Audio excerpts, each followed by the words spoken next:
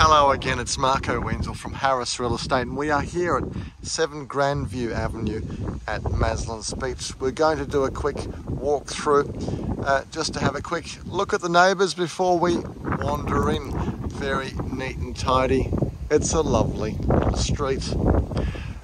Well, here we are, very low maintenance property, very low maintenance garden and we're presenting this property as is. Um, it's been lived in and loved for many years, that's for certain. And uh, straight front uh, entry hall into that lounge room. We'll explore that a little bit more in a moment. Through to the kitchen over there, and to our right, that very first bedroom. Ceiling fan and a lovely view out to the front. No built-in robes in this home. We'll turn to the right. Here we are, down the passageway into the laundry, the wet zone. Here we go, door to the back. We won't go through there at this point in time. Loo and bathroom.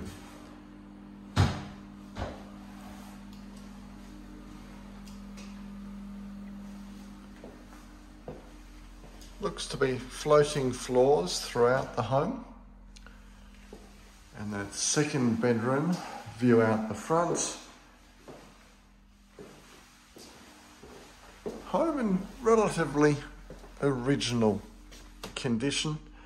Cassette reverse cycle air conditioner in the master. And hello, there we are. Built-in robe through there. Let's go and explore the kitchen dining room. Loads of built-in storage through here. And continuing the same theme and the same era in what I would suggest is quite a large kitchen. And here we have the lounge Again, reverse cycle, cassette style air conditioner through to the backyard. Again, very low maintenance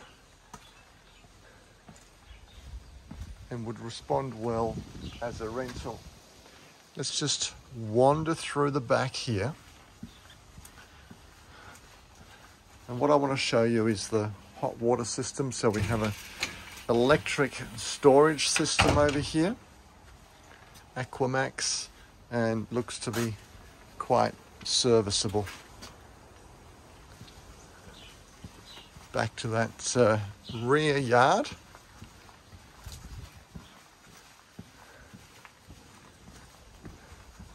We'll just walk to the back corner.